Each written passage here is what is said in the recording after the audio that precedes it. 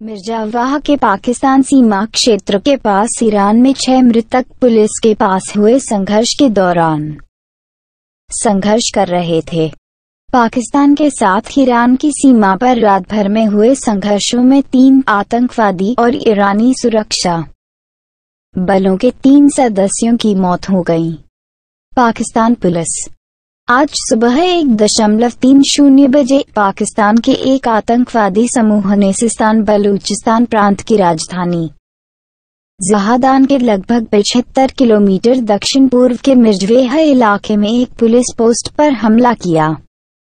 IRA ने कहा, तीन हमलावरों के एक पुलिस अधिकारी और क्रांतिकारी गार्ड्स के दो सदस्यों के साथ मारे गए थे।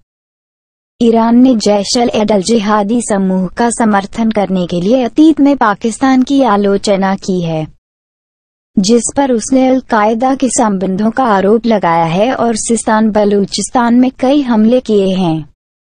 निर्विवाद प्रांत करीब और आबादी का घर है, जो कि मुख्य रूप से सुन्नी और जातीय बलूची है, जहाँ एक देश में नौ शून्य प्रतिशत शिया हैं और दो तिहाई फारसी हैं।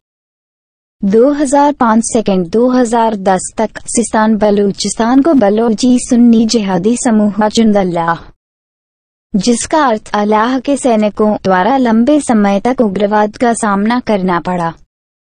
हालाँकि 2010 के मध्य में इसके नेता की हत्या के बाद हिंसा को काफ़ी हद तक रोक दिया गया था।